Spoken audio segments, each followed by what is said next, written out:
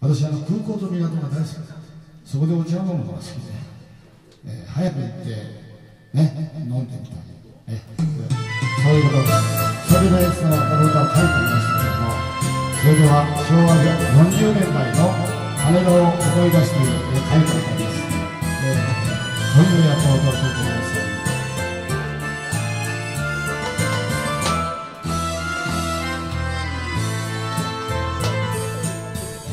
よきに映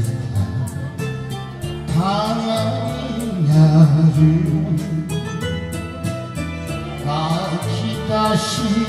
そう。な君の顔そっとすがんだい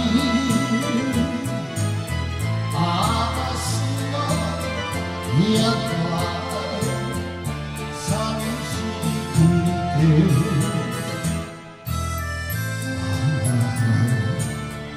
冬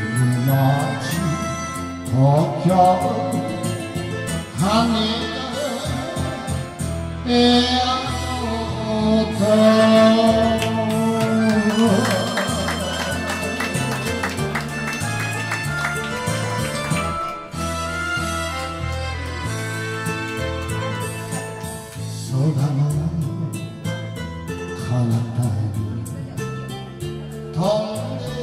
んでゆく君の思いを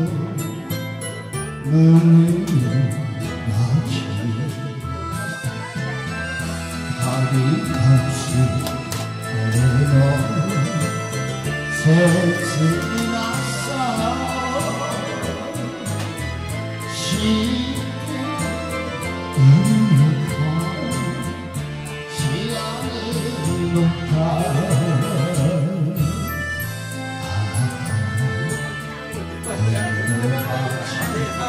도쿄 갑니다 네.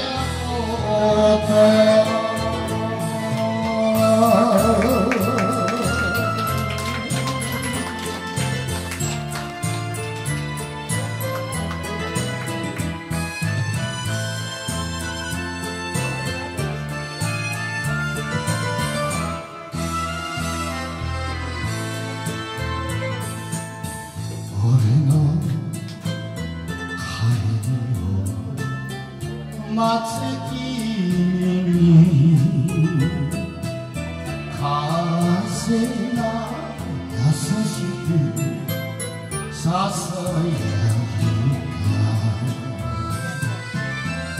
夕日行くか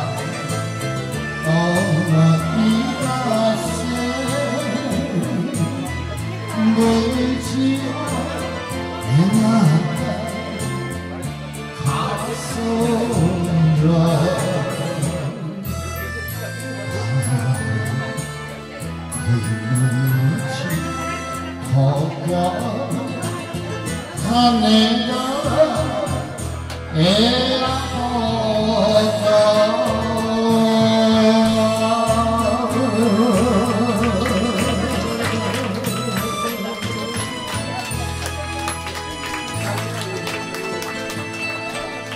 はい、どうも。それではまた後ほど、よろしくお願いします。どうも。